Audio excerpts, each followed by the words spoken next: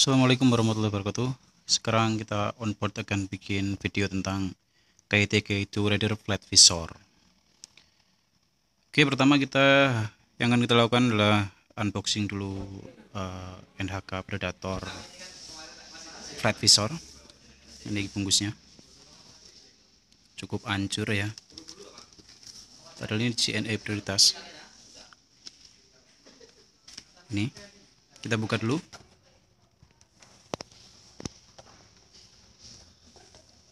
bungkusnya lumayan kokoh. Saya dari online belinya. Ini tambangnya. Flat. Bener-bener flat. Oke bagus barangnya.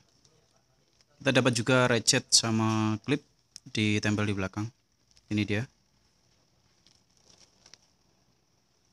Nah ini tampangnya setelah dibuka bungkusnya Impact resistant, UV protector, sun visor, scratch resistance, anti gores katanya. Nah ini ratchetnya. Ini belum kita modifikasi, masih standar. Ya, segitulah. DOT. Ini klipnya, klip untuk pengunci visor. Ya. Tapi nanti itu sepertinya nggak berguna karena kita nggak perlu itu nanti. Oke ini helm KYT K2 Rider warna hitam metalik. Ini sudah kita lepas visornya sama reset standarnya.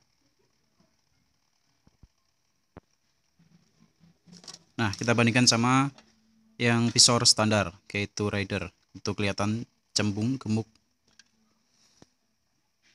Oke kurang cool ya. Ini reset standar dari KTK itu Rider. Dia tipe apa ya ada springnya gitu untuk locknya. Sebenarnya untuk resetnya bagusan yang punya KT ya. Nah ini sudah saya modifikasi jadi sudah saya potong shape-nya yang depan sama atas. Saya berkokoh juga pakai apa itu plastik. Saya lem pakai lem uh, Alteco ya atau lem G ya untuk memperkokoh soalnya itu saya potong shape-nya. Nah baut saya hanya pakai satu nanti yang bagian bawah. Itu juga saya lubangin setengah lingkaran agak ke depan. Saya tambahin sama kanan kiri. Supaya pas ya. Oke. Jelas susah banget ya untuk fokusnya HP murah. Nah, ini klipnya klip Oke, baut kita pakai dua, yang dua kita sisihkan dulu, kita simpan. Nah, kita pakai 3M. 3M double tape yang original. Yang ori, harganya sekitar 25.000. Sama gunting ya untuk nanti nempelin. Nah, ini dia. Kita nggak pakai baut yang bagian atas.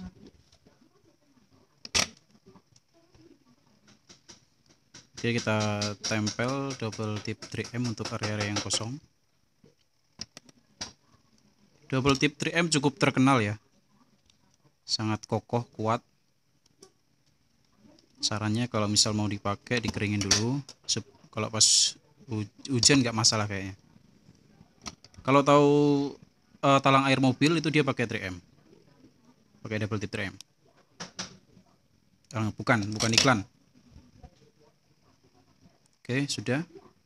Kita pasang di helmnya. Kita bersihkan dulu area cekungan resetnya. Nah kita pasang klip jangan lupa kalau sudah nempel soalnya nggak bisa dipasang nanti. Oke cukup. Kita pasang. Hati-hati saat pemasangan pastikan uh, sudah pas. Soalnya sekali tempel uh, lo tahu sendiri 3M. Kuat sekali. Jangan sampai sudah nempel terus dilepas lagi itu bisa ngurusak cat.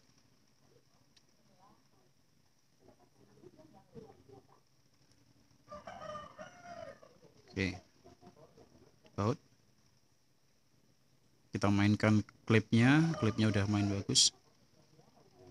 Oke di baut. Baut yang kita pakai cuma dua ya mungkin bawah aja ya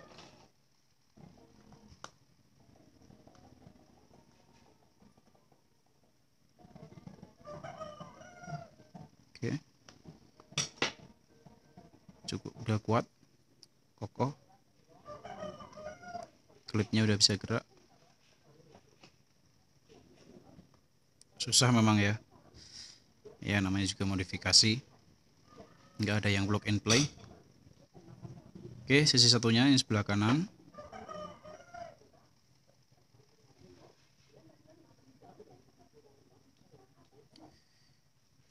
Kita pakai obeng obeng plus yang besar ya.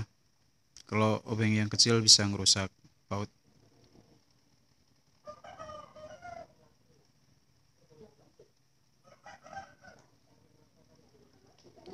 pengerjaan kurang lebih sekitar dua jam soalnya ya trial and error. Eh, rada-rada uh, susah sih ngepasin. Nah ini setelah dipasang. Sorry tadi saya nggak bikin agak sempat bikin pas pemasangan ininya apa namanya visornya. Soalnya uh, storage is full apa ya uh, penuh lah memorinya. Nah ini kekurangannya. Bagian atas selis visor itu enggak masih ada celah. Bagian bawahnya bagus. Bagian bawah rata. Nah di atas juga uh, kurang pas ya sama cekungan. Tapi dibuka aman. Nggak gesek. Nggak gesek di cekungan aman. Bagus cuman yang celah di atas tadi kayaknya kalau hujan kemungkinan kemasukan air nah ini tampilnya resetnya bagus